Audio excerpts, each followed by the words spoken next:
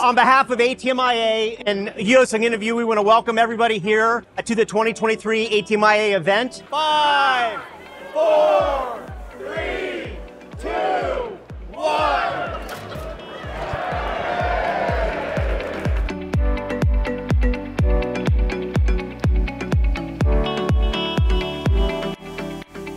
And I'm here to talk about one of our exciting new innovations in banking technology, that is secure cash transfer. And it comes with our new Series 9 family of ATMs. Then you can take that cassette, walk it across your branch, you can take this cassette, place it in,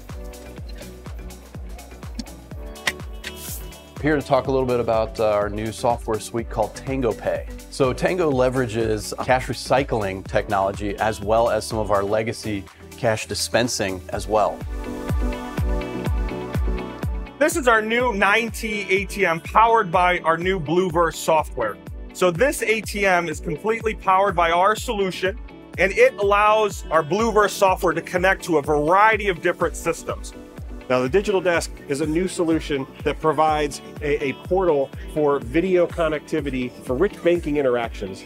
Specifically, we're trying to replicate the experience that a customer has when sitting across the desk from a banker in person, but doing it with a remote connectivity to that banker. So I've pulled up a, a session with a specialist banker, and now I can interact with banker agent Joe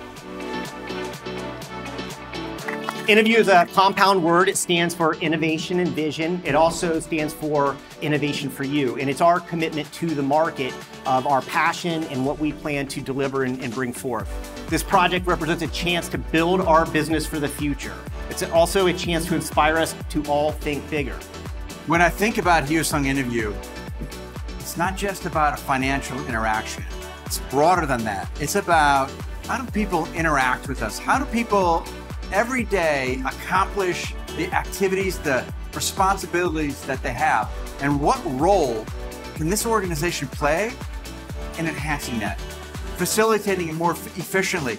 How do we create an experience for individuals, regardless of where they come from, that is an everyday component of their life? That's where Hyosung Innovue is headed. That's where this idea of truly a human experience maker is going.